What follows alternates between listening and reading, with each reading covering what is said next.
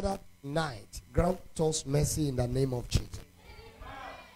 Father, we pray, O Lord Almighty, every word that we are going to hear tonight, let it be an addition to the one you have already sent to our lives.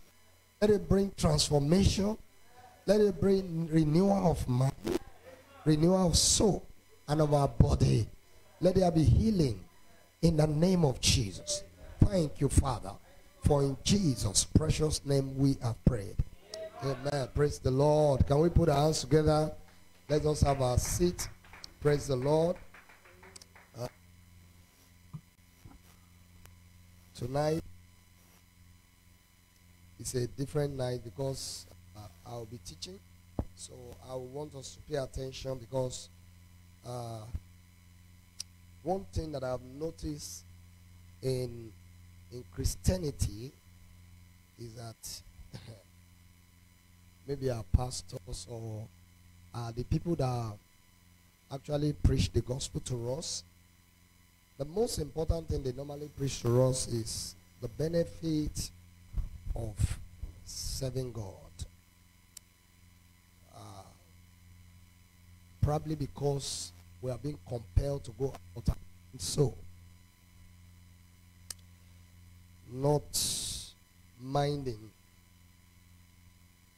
the price we're going to pay. Not minding the assignment or responsibility that is going to be bestowed on us being a Christian. So a lot of time, the reason why you find out that most Christians have this challenge of not being able to reach God is as a result of the fact that we only know God as a God answer prayer, which is good. Praise the Lord. And He will continue to answer our prayers. So we must also know that this God, there are some things that we are being compelled to know when it has to with our salvation. And one of such tonight, what the grace preacher, majority, I will not say all of them, as it's no longer necessary. So tonight, I'll be speaking to us on a message entitled Jesus' Commandment. We all understand that commandments to do with the Old Testament before Jesus came. A lot of people never find it or deem it fit to find out if there are commandments Jesus has given to us. So that is why I I said that we are focused on the on the you know the the, the, the benefits of serving God. So once you just once you you know do some certain things, then you, you don't need to even do some certain things. That's the way we preach. I'm sure that one way or the other we are find ourselves right in such a where we let people know that oh don't worry. It's just about you coming to christ.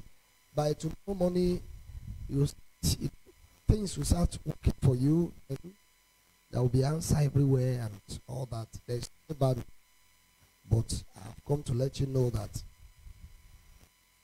have commandments. Right? So I will not go straight commandment, but I'm to first of all talk about.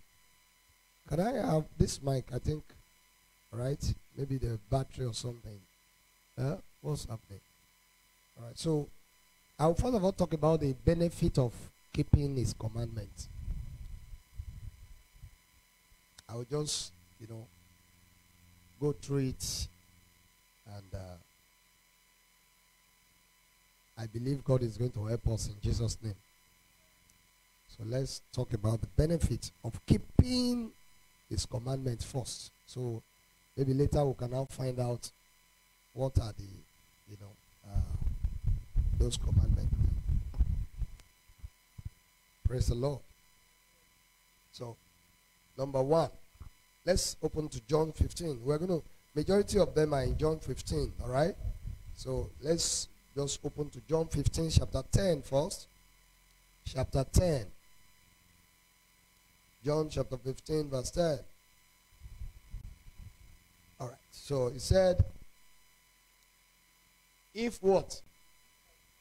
I'm sure this is not Old Testament now. Is that correct? It's not Old Testament. This is New Testament. So if you keep what? Is it commandment or commandments? So it means there are many, right? All right. So what's the first benefit? You will what? Okay, so there is an automatic love of Christ for you. So you can write it as number one. Automatic love from Him. Number two. Verse 14. Verse 14. All right. Let's let's read it also.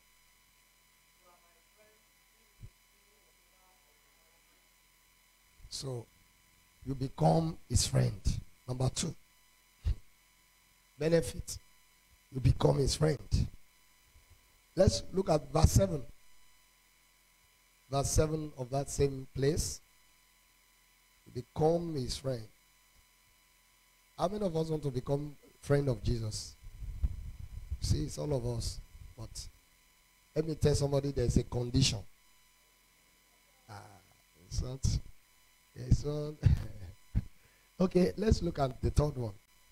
Verse 7. Can we read it together? Okay?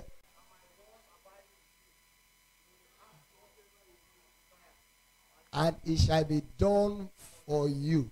So it means that when you keep his commandment, it guarantees answers to prayer. Answers to prayers. Answers to prayers. Can we go to verse 4 of that same place? Answers to prayer. Verse 4. Let's read verse 4. Abide in me and I in you, as the word cannot bear fruit of itself unless it abide in the vine. Neither can you unless you what? You abide in me. So it means that for your life to bear fruit, you need to abide in Christ. To abide in him. All right. Let me just give us the other one. So maybe later, if I have enough time, I'll show the scripture. Number five, it guarantees divine presence automatic divine presence. Wherever you go, the host of heaven will be drawn towards you.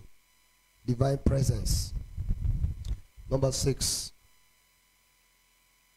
it guarantees divine protection. Simply because you are keeping his commandments. Number seven, it guarantees peace. There will be peace in your life. There is nothing that will move you. Nothing. Praise the Lord. All right, peace. Number eight. It becomes the source of abundance for you, source of help, source of joy, source of increase in your life when you keep his commandment. Number nine, it will be hard for you to lose any battle. Very hard. Very hard. It will be very hard. Can I give us two more? It guarantee fulfillment of purpose in life it guarantees fulfillment of purpose or vision or dreams in life. Your dreams will just come true without stress when you keep his commandment. And let me just say this before we now go straight to the, the commandments. The one I've been able to, you know, uh, harness together. Right? I may not be able to give us all of it, but the few ones that I've been able to gather together. Then you are autom- you will automatically hate sin when you keep God's commandment. You will automatically what? Sin. So it's not a question of ah, I'm trying to I'm trying my best. So what is this commandment that I'm talking about? What is commandment? Don't forget we're in Bible study. What is commandment? You know the way the way the, the way it is called, it's it it it can bring fear to us. Is that correct? The way it is mentioned. Hey, commandment. Ah, ten commandment. Hundred commandment. So it, it, it can bring fear. It can breed fear in our heart.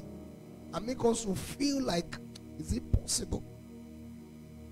So let me just give us few definition of commandment. Number one, it is Jesus' mandate for you. Jesus' mandate. Jesus' mandate for you. For you. Number two, it is responsibility bestowed on you by Jesus. Responsibility bestowed on you by Jesus. Or it is the charge. The charge. Let it be low like that. Yeah, it's okay like that. There's a charge, the charge, the charge, the charge. Thank you, Jesus. Can we look at John chapter 14, verse 15? John chapter 14 and verse 15. Thank you, Jesus. John chapter 14 and verse 15. All right. Can we read it together? Now, can I ask a question? The question I want to ask tonight if you really want to find out the responsibility Jesus is placing on you, the question is this. And let me ask anybody that is close to you, or you can walk up to two or three people, ask them, Do you love Jesus? That's, that's it's, it's a very simple question, but it is the main question. It is the what?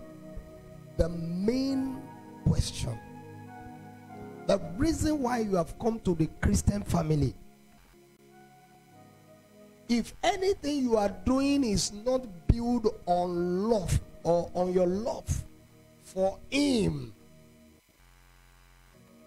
even in heaven, they, they can't even trace, they won't be able to trace our record. So everything you are going to do as a must be built on love. And the love for who now? For Jesus. If you love me, keep my commandment. Let me let's quickly check.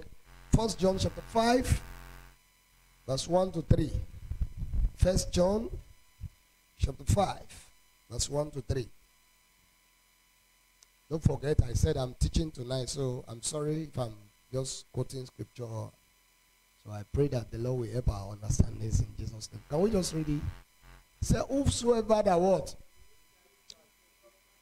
I'm not hearing our voice.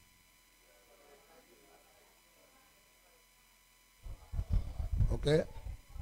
Who loves him? Who begot also love him who is begotten of him. So in meaning he's talking about Jesus and God, right? And his father. All right, so let's fast forward to now. By this, we know that what? We love the children of God when we what? when we love God and keep his commandment, when we love God, we are not talking Old Testament. This is not, I've not even gone to Old Testament. When you love God, you keep what? His commandment. So let's let's read verse 3 now. For this is what? You see, he's, he's taking you back again to that commandment.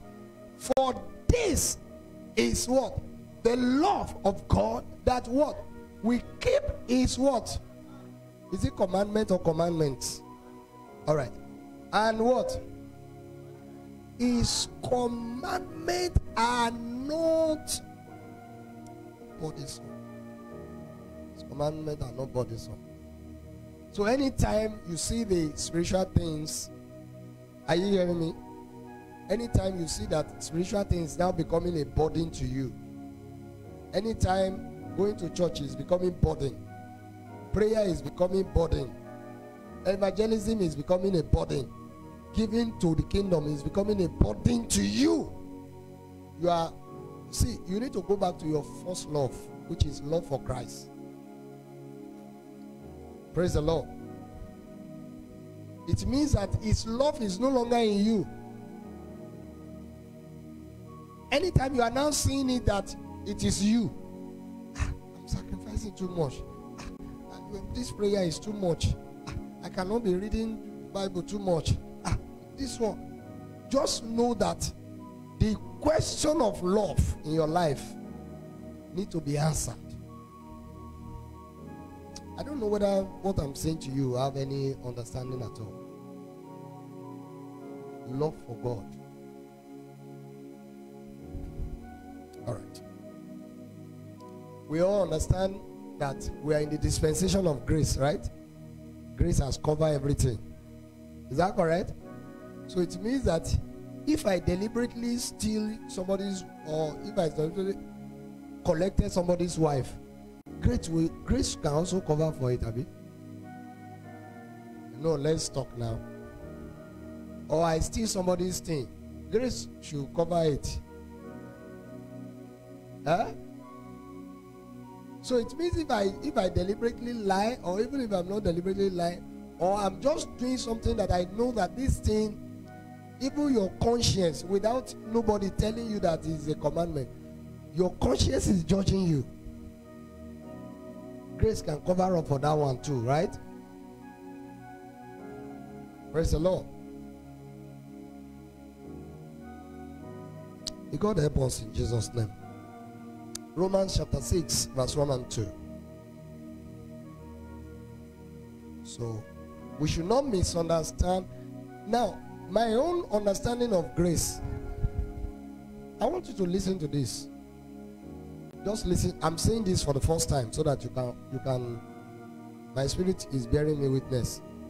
Are you listening to me?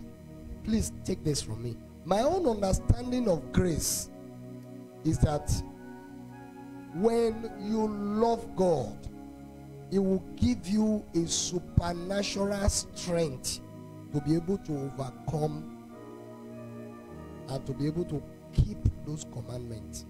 That is my own definition of grace. There are things I thought I will never be able to do. When I when I when God called me to ministry, I said, I'm not sure. I'm not sure. I, I, there's no way I can do it. I will mess up in this area. But nine years counting is grace sufficient. My prayer for you in the in the name of Jesus, every area you have been struggling because of your special love for God, that special grace will be given to you tonight. In the name of Jesus. So he says, Shall we continue in sin? What shall we say then? Shall we continue in sin that we will have multiplication of grace? Verse 2 said, God. He said, Certainly not. He said, How shall we who died to sin live any longer in it. Now, let me tell you something. When you fall in love with God, what it means automatically is that you will hate sin. Because you want to, at every point in your life, you want to please God. At every point, when they are praying, other people may be weak. You yourself, you know you are weak. But because of that law, you are still putting more pressure. They are singing. Even the song they are singing, you know, because of that love, you are still putting more power. They call for giving. You know that they say, ah. Can I tell you something? Is our church. There are people that loves God. It's just these three days that I know. As we're about to do this work, eh, some people went and borrowed money. That's love. Is love. Stop deceiving yourself. When you see anyone who is in love with God, it is sin will be far from their tabernacle. I pray may God give you that grace in Jesus' name. Now, why are we talking about commandment? Is it that pastor has come here to please put for me Romans chapter 8, verse 1? Is it that pastor is coming to come and condemn you? Ah, look at you. Because you can't do this, before you can't do this, because you can't do that, then that means no, no, no, no. That's not what I'm saying. And the, the, the commandment we are talking about is not in flesh. You can't keep the commandment of God in flesh. You can't do it in flesh. You must be a spirit person for you to be able to keep the commandment of God. You must be a spirit person. Look at it. He said, There is therefore now, not tomorrow, not yesterday. There is therefore now know what? Condemnation to those who are in Christ Jesus who do not walk according to what? According to the flesh. When your flesh is, when your flesh, when you are hearing your flesh, you can't do the things of the spirit. You will think it's not possible. How am I going to come? How can I do this? How will this thing happen? I am telling you, if you are walking in the spirit, it will happen. How? we have limited ourselves in God as a result of the fact that we have limited the grace that God has given to us to just the physical, our physical nature, flesh. It's not about the flesh. It's about the spirit. Let me tell somebody it's about your spirit.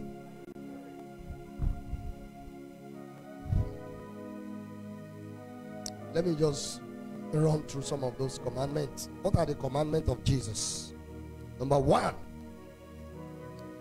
Number one commandment of Jesus is we are commanded to love God with all our heart, with all our soul, with all our mind. We are commanded to love God. Matthew chapter 22 verse 36 to 40 we are commanded we are commanded. See can i tell you why you are thinking about your problem every time? Can i tell you? It's because you don't love god. If you love god you will know that he's able to do exceedingly abundantly above what you ask or think people have been limited they have limited their destiny as a result of the fact that they believe so much in the natural, neglecting the supernatural. Can we read it? Teacher, which is the greatest commandment in the law? In the law. Yeah, we are not in Old Testament. Oh. New Testament. It's Jesus they are talking to here. Who is talking there? And Jesus said, You shall walk Am I sure? I'm, am I sure I'm talking to Christian here? You shall what? With what? With all your heart. Can I tell you something? Can I tell you what that place means? With all. Huh? Can I tell you what it means? You can love God by prayer, and you can hate God by discipline. You can love God by singing, but you can hate God by giving. With all.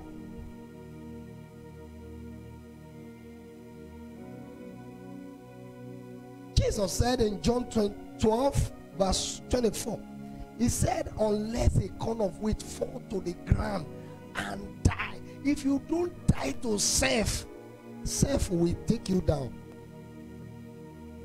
This flesh, unless a corn of wheat fall to the ground and die. Can you imagine what he said? He said it remains alone. But if it dies, meaning that you can be on ground and you assume that you are dying, you are, you are not. You are not dying to flesh. Little things still move you. Little things. Some of us, as, as small as greeting, still move us. Somebody didn't greet you. You are still moved. It means that you can't love God with all. With all. With all. You have to be dead to flesh. Let me tell somebody be dead to flesh. Number two. I don't know how many I'm going to give us, but I will just try my best. Do to order what you want order to do to you. Do to what? What you want order to do to you. Matthew chapter 7, verse 12. Mm. Matthew chapter 7, verse 12. Can we read it together? Say, therefore, whatsoever you want men to do to you, do also. Let me tell somebody, do also. Say, do also. Say, do also. People have called me in urgent situation before. I call people in urgent situation. They answer me. So many people, they can, you can't call them in urgent situation. They will deny you. They will, they will deny you. They will turn their face away from you. Then the day they need urgent, ah, when everybody is, I used to do this one. You are lying. This life, this earth you are seeing, huh? Earth is a ground. Whatever you sow is what you reap. Can we celebrate Jesus? Do to other what you want them to do to you. Celebrate others. Rejoice with others. Mourn with them. Go out of your way for others. Some of us, we can't go out of our way. That's why it's difficult for people to go out of their way for you. They can't go out of their way. I'm telling you. Number three, forgive those that offend you. Is is a commandment Jesus has given to you. If I even tie it to your prayer answer, forgive. Let me tell somebody, forgive. Mark 11 25 and 26. Mark 11 25 and 26. Forgive your offenders. And when you what? When you what? I'm not hearing you. When you what? Uh-huh. If you have what?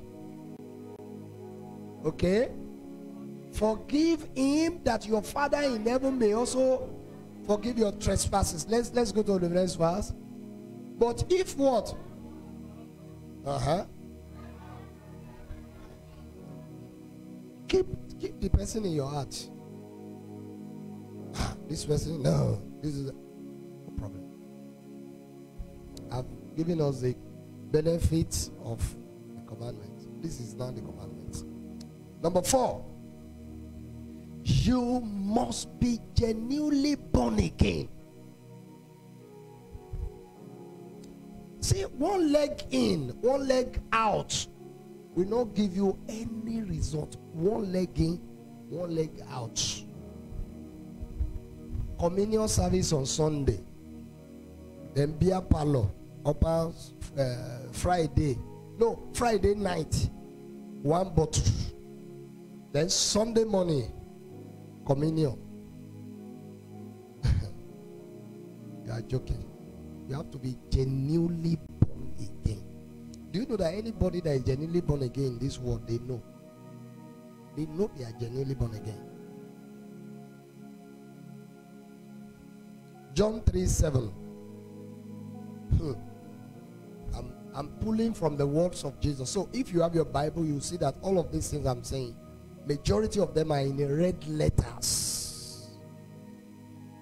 Red letters, direct from the mouth of Jesus. Do not marvel that I say to you, do not be surprised. Let me tell somebody, do not be surprised. Tell the person, say, do not be surprised that I say to you, you must be born again. There are many people in church, but many are outside of Christ. Many. There are many religious people. Very religious. They understand letters. In fact, they can even quote scripture. They will give you, they will tell you, no, no, no, that's not the only place uh, they will quote it for you. But they are not in Christ.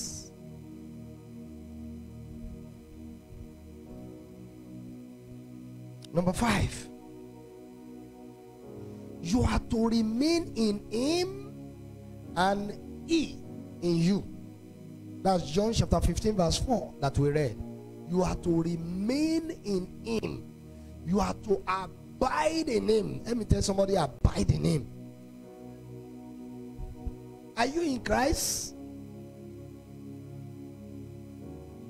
People used to say that if you are not in Christ, you are in crisis.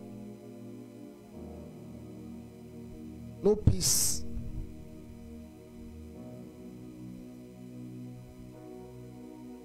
Number six, Matthew chapter 5, verse 14 and 16. Matthew 5, 14 and 16. Let your light shine before men. Let your light. Oh, say, you are what? You are the light of the world. A city that is set on a hill cannot be hidden. You are born again. It's only you. You are the only one that say, I, me myself, I know I'm born again. Me myself, I know I am. I know I am serving God. I know. People must know. Let me tell somebody, people must know. People must know. Let your light shine before me. Don't be eating. Don't be eating. Don't be eating. Don't be eating. I'm serving God. Only you inside your room. Only you inside your bedroom. Nobody. You evangelism. No. Choir. No. This one. No. That one. No. Okay. Give. No. Don't be eating. You are the light. Let your light so shine among men. Thank you, Jesus. Number seven. Settle matter quickly with your enemies. Settle matter quickly with your enemies. Or settle matter quickly with your adversaries. Some of us will carry a load. Somebody offended you yesterday. You and your husband had issue yesterday. You did you carry it over. And you hear somebody has said something you carry it is in your heart. Ah. Hmm. Matthew chapter 5, verse 25. Matthew 5 25. Settle quickly with your adversary. Say, agree with your adversary quickly while you are on your way with him. Lest your adversary deliver you to the judge. Who is the judge? Do you know who is the judge? Huh? Who is the judge? Satan.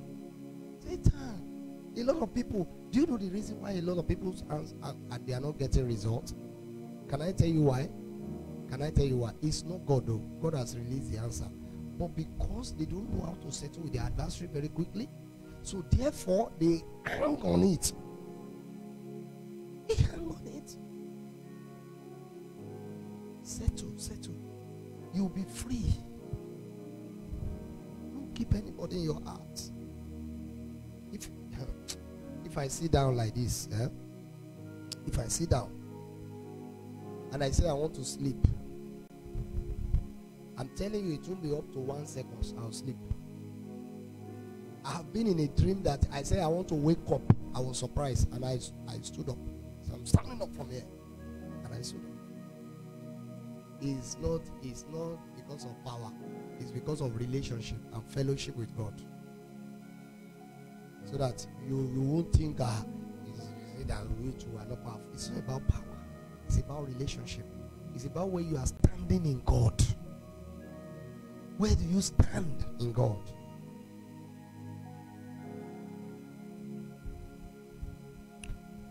Number eight. Get rid of whatever that is making you sin.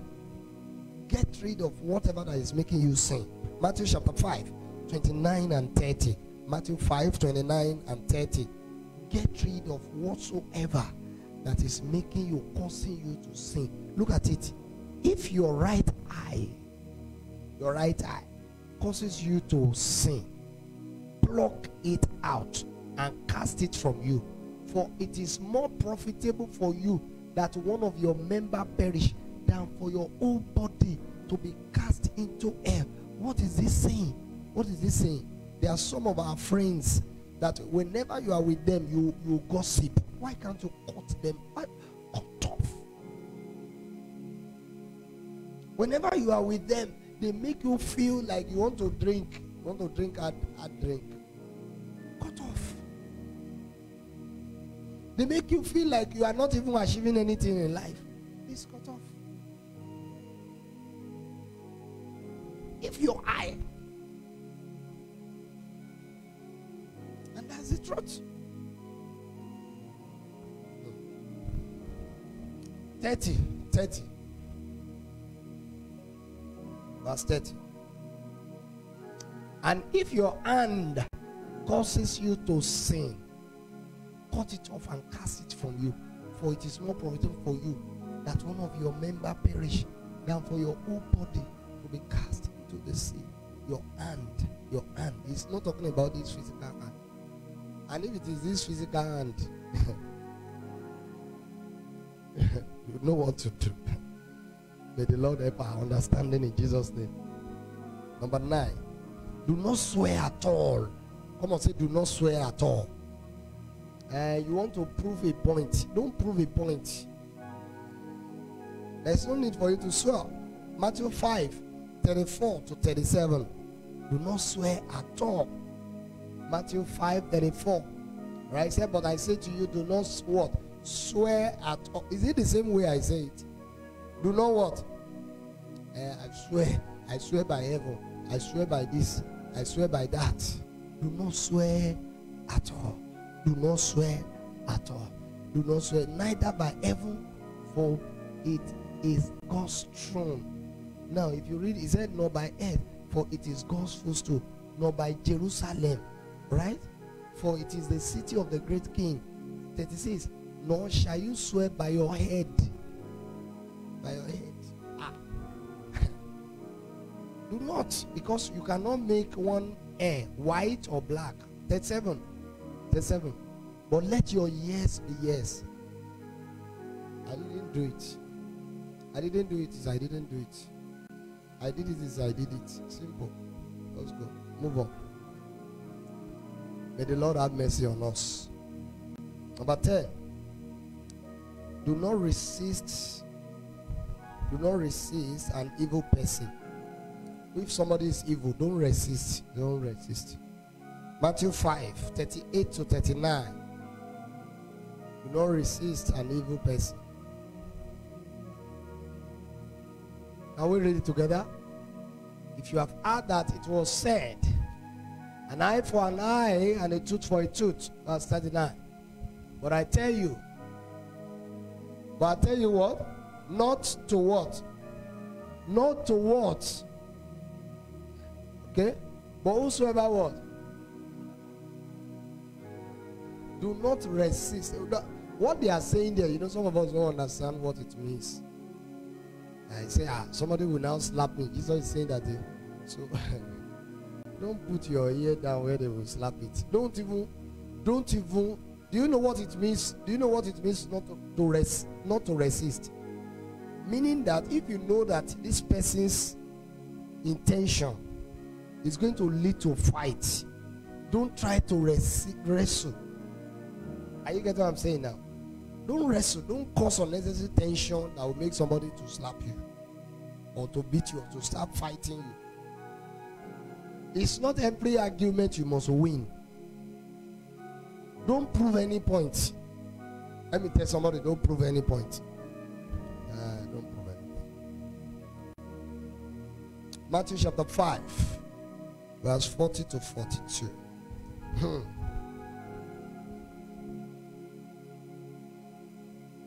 Matthew 5, 40 to 42. Can we read it? If anyone want to sue you and take away your tunic, let him have your cloak also. Verse 41. Whosoever compel you to go what? One mile, go with him what? Two. All right, go ahead. Give. Oh my God. Give to him who ask you, and from him who want to borrow from you. Do not turn. Uh, what they say you should give, you turn away. Give more than is demanded. That's what he said. He said, Go extra mile. See, you are sowing a seed, though. As I'm talking to you now, I'm sowing seed to your life. So it depends on how your heart is. There are some of us, our heart is not a group ground. So the enemy will just come, carry it. But tonight, God will, God will not allow it to happen. This word will make a change in our life. Because the word of God is powerful. Give. Number 12. Love your enemies. I didn't say love your enemy, oh. love your enemies. All of them. All of everybody have you have enemy now, right? Don't you have enemies? Don't you have people that hate you? Um, Jesus said you should love them. Matthew 5, verse 43 to 40, 45. Love your enemies. You see it? You have heard that it was said, shall love your enemy and hate and hate your enemy. Sorry, shall love your neighbor and hate your enemy. But Jesus said, take it. He said, But I say to you, say, but I say to you, okay, love your enemies. Okay, let's let's begin to say what how can you love your enemy? Number one, bless those that curse you. Right? Do good to those who hate you. Pray for those who spitefully use you. And also what? Who persecute you. That's how I'll be winning my battle. Praise the Lord. On Sunday, we are talking about God's love language, the benefit. Yes. Right. Number 13. Give to please God, not to be seen. Give to please God, not to be seen. Matthew chapter 6, verse 1. Give to please God, not to be seen. Take it that you do not do your charity deed before men to be seen by them. Otherwise, you have no reward from your Father in heaven. You are giving something to a everybody is aware. You want to assist a everybody is aware. You know, people used to do it a lot. Uh, everybody is aware you want to give. No, stop it. It's all right. 14. Pray privately, not to be seen by men. Matthew chapter 6, verse 5 to 7. Pray privately. Meaning that it's not all your prayer point that people should know. You know, like Jehovah Witness people assume that when you when we are doing our corporate prayer. We are praying for people to see us. No. God permits corporate prayer. Say whatsoever two of you shall agree together as touching anything, I will do it. So is it that uh, uh, we are you are here now. Then we are praying. Are we doing soul traveling?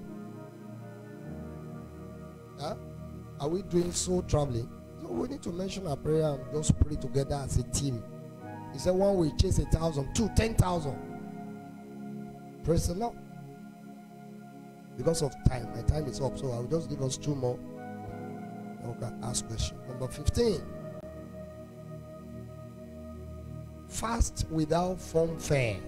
Matthew 6 16. Fast without fanfare. A lot of people, the way they fast, eh? Ah, they will not brush, they will not dress well, they will not. Everybody is aware that they are fasting. They will look so haggard.